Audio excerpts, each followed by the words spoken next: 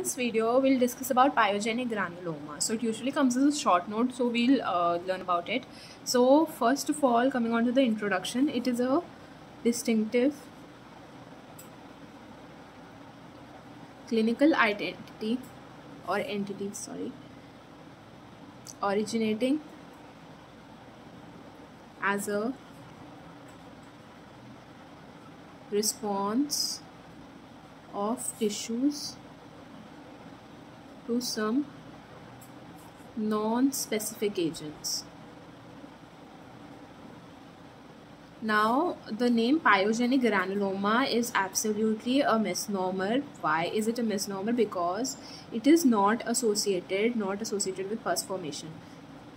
Now, coming on to the causes. In causes, uh, either it is due to some microorganisms or it is due to trauma or due to poor oral hygiene or some uh, mucosal irritants. All right. Also in predisposing factors pregnancy is one okay.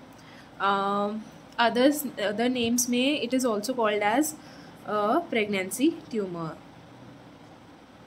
Now uh, let's come on to the epidemiology. Now age it usually occurs in early age. It usually is more in females uh, because of the vascular effects of female hormones.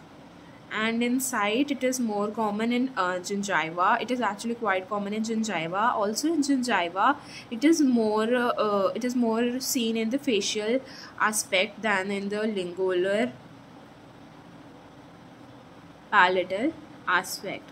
Also, it is seen to occur on both sides of, hope it is visible, both sides of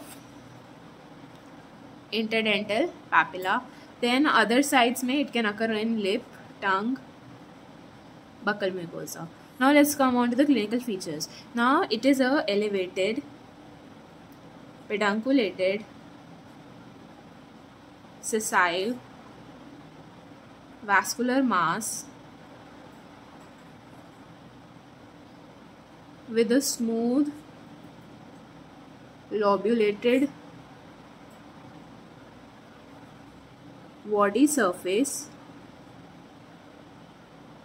which is usually usually ulcerated. So there are more uh, chances of hemorrhage. So tendency of hemorrhage is high now hemorrhage can occur either directly or on a minor trauma or it is basically spontaneously it can occur or it can occur due to a slight trauma. Now i told you that the other name is pregnancy tumor. Now this is usually seen in pregnant women because of the hormonal alterations that occur when a lady is uh, pregnant.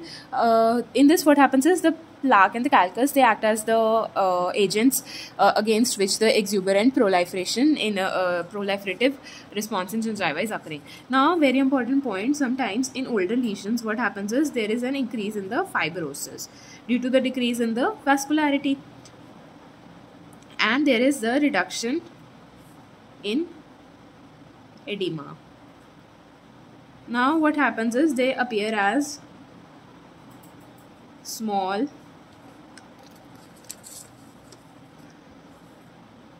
firm painless nodular masses with no surface ulceration and very little tendency to bleed. Now this is called as fibroepithelial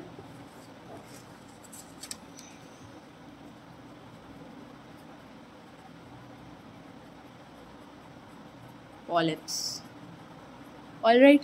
Now let's talk about the histopath. Now histopath is very important and very characteristic and it's quite easy to remember. Now first of all the very significant point is it resembles the granulation tissue except it is exuberant and uh, well localized. Now sometimes the epithelium thickness is increased in cases of ulceration.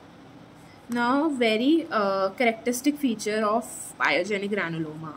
What we see is uh, that there are uh, endothelial cells that line the vascular spaces. I will show you, uh, suppose this is our blood vessel and you will see some endothelial cells actually lying around the vascular space okay? Now the connective tissue stroma it is very uh, delicate. It has fasciculi of collagen. And one very important point to mention is the dense chronic inflammatory cell infiltrate that is mainly of PMNL lymphocytes and the plasma cells. Uh, the amount of uh, them being present will depend upon the degree of ulceration. Now in the treatment is obviously surgical excision now it, uh, it is very commonly uh, seen that it recurs. Now there are two reasons for its uh, recurrence. One is the surgeon he is unable to uh, unable to determine the limits of the lesion due to which it is excised inadequately and it recurs then the second uh, reason could be that there is possible uh, uh, the re-stimulation of the infection. So uh, basically it is reactivation due to secondary infection. Now let's draw the histopath diagram. Yeah